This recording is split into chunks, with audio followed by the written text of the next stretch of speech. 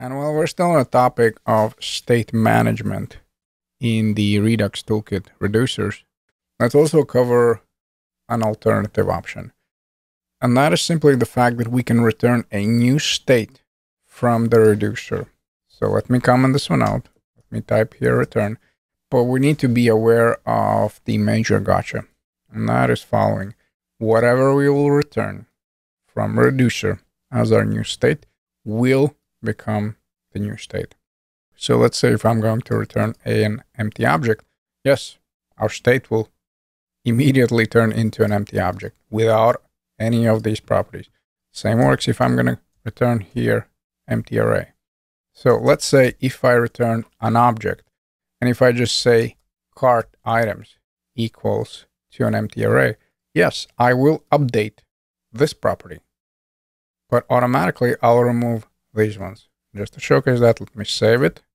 Let me click on clear cart and you'll notice that now I have nothing here as far as the amount as well as the total. And I can clearly see that if I navigate to the DevTools.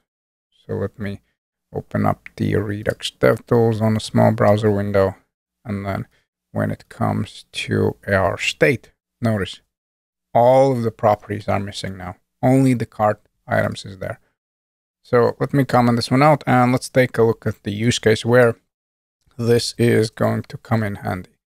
So in one of our upcoming projects, we'll have some pages and in there we'll have a bunch of inputs that are going to be our state values. And essentially there's also going to be a clear button. And the idea is like this. Once the user starts typing something, let's say changes some values around here, at some point, maybe he or she wants to clear out all the input values. So in that case, we're going to take that initial state and we'll just return that from our reducer.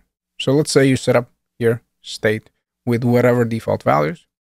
And then when you have the reducer that just sets it back to default, you just pass that initial state as a return in your reducer.